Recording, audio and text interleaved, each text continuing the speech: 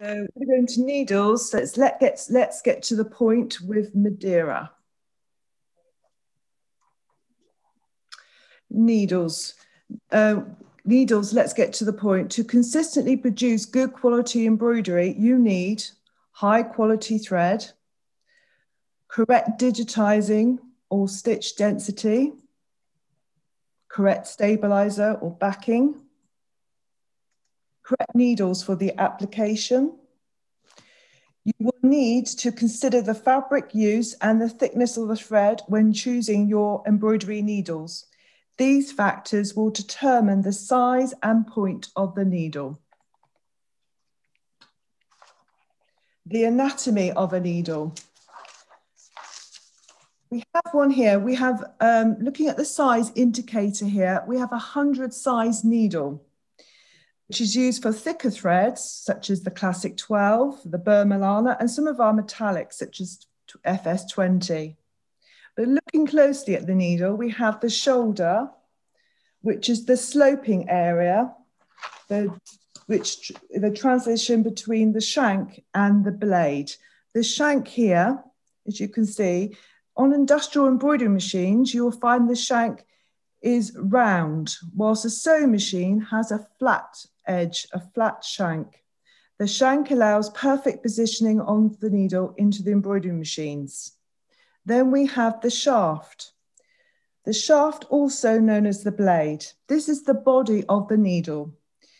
Um, the needle size is determined by the shaft diameter. For example, the popular size 75 needle is 0.75 millimeters around the thickest part of the shaft. The groove, always fit towards the front. You will notice when you're looking at your embroidery needles, there is a long cut groove running in the front of the shaft. This allows the thread to lie more closely to the needle as it passes through the fabric. The length and size of the groove vary to needle type. Remember, when inserting the needle into the machine, the groove must be facing you. The scarf, here and here. The indentation above the eye that allows the bobbin hook to smoothly grab the thread under the needle plate to create a stitch. Again, the shape and size of the scarf vary to needle type. Embroidery needles come in extra large uh, eyes and specially shaped scarves to prevent embroidery thread from shredding.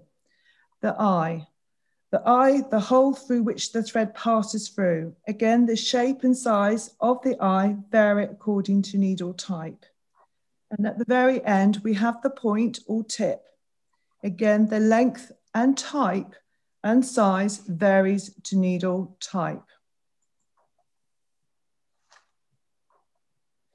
The fabric we embroider onto determines what needle point we should use. There are two types of fabrics. The woven fabric, which is normally the baseball caps, canvas bags, and denim. And we have the knitted fabrics, which is polo shirts, sweaters, fleeces, and hoodies. The RG needle, the standard point, the sharp point for tightly woven fabrics, such as denim or silk. Um, then we also have the SES needles, which are light ball points for polo shirts, knits, and fleeces. And then we have the SUK, which is a medium ball point, which is slightly more rounded for finer and stretchy and loose knits. Ball points have a rounded point, like a ballpoint pen. The needle is designed to separate and slip through the knitted fibres and penetrate the fabric without damaging it. We also have one here called SAN, SAN, which are titanium needles.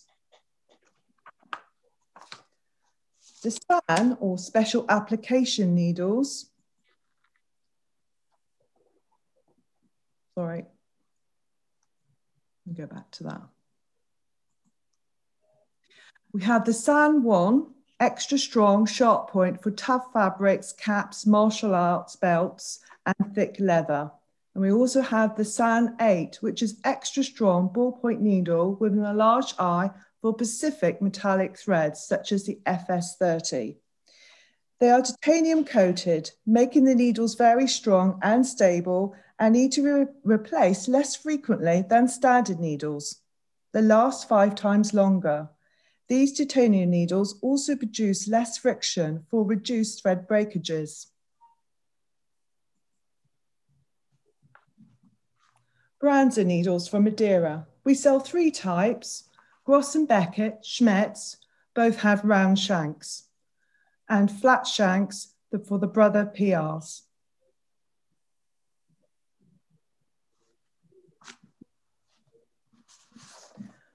The thread weight you're embroidering will determine what needle size you should use. The 65 to the 75 needles are the standard sizes for most applications for 40 weight thread.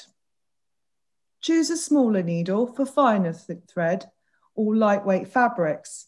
So use a smaller needle for like the Polyneon 75 or the Classic 60. Choose larger needles for thicker threads like our Burmilana or our Classic 12 or for heavier weight fabrics. Needle recommendations can be found on the back of the thread shade card. So we have here the classic 40 and we recommend 60 to 75 needle. The slightly thicker thread, the classic 30, the 75. And our finer classic, 60 to 65.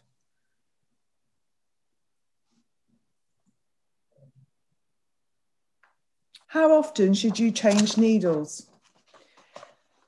The biggest culprit for thread breaks is old needles.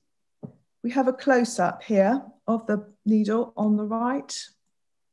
Needles shouldn't be changed on a regular basis. Look at the photo here on the right. By using a microscope, we can see the needle tip is no longer sharp or slightly ballpoint. The end of the needle is now very blunt, causing damage to fabrics, creating holes and thread breakages. Your needle may continue stitching millions of stitches without breaking, but this doesn't guarantee consistent stitch quality. We recommend a schedule to change your needles on a regular basis. Needle one on week one, needle two on the second week, and so on. Refresh your needles to avoid thread breaks, which cause unnecessary machine downtime. So you change your needles regularly to avoid common problems, thread breaks, looping, skipped uneven stitches, bird nesting, puckering. and fabric damage. Change your needles when using a different weight thread,